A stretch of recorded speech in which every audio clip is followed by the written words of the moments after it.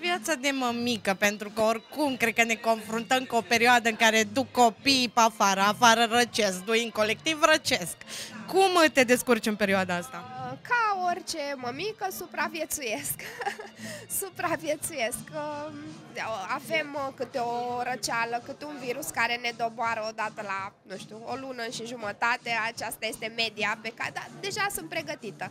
Știu ce tratament să le dau, uh, rare sunt ocaziile când mă aflu în offside, dar în general, chiar asta îi spuneam acum lui Ilan, uh, când văd primele semne de boală, știu cum să acționez și să bat în lemn că nu am avut probleme grave cu ei.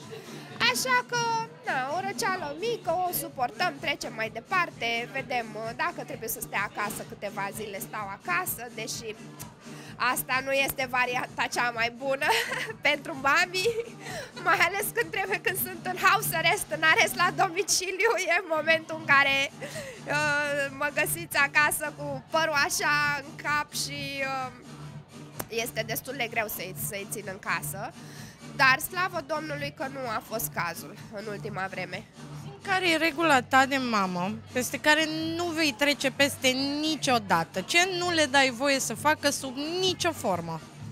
A, hai să râs, dar sunt o mamă destul de relaxată, nu prea bă, stai să mă gândesc că mai luat așa. Ilan e cel care are multe reguli la noi în casă. Uite, una, una dintre ele cu care mă confrunt non-stop este că nu au voie să mănânce niciun fel de coajă, sâmbure, semințe, um, nu știu, sâmburi de pepene, să nu înghită, Doamne ferește. Uh, el are impresia că de la asta o să facă apendicită și nu știu, este o fobie de-a lui și Nataniel a mâncat acum vreo două zile, lor le plac foarte mult semințele și trebuie să stau să le curăț pentru că nu vreau să le iau miez, că altfel ar mânca foarte mult și atunci avem un tabiet în care eu le curăț semințe și a luat o coajă, a mâncat-o, i-a plăcut foarte mult și i-am dat două semințe întregi și au fost un deliciu pentru el. Când a aflat Ilan, m-a, promi, mi-a, m-a pus să jur, să promit că nu o să mai fac așa ceva în viața mea, el are foarte multe, eu nu am, eu sunt mai relaxat așa.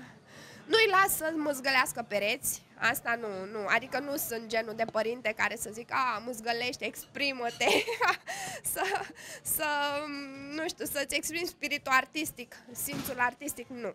Nu, nu, pereții nu se măzgălesc. Dacă au scăpat, curăț imediat, le zic că nu este voie, cu cariocile doar sub supravegherea mea și peste asta nu trec.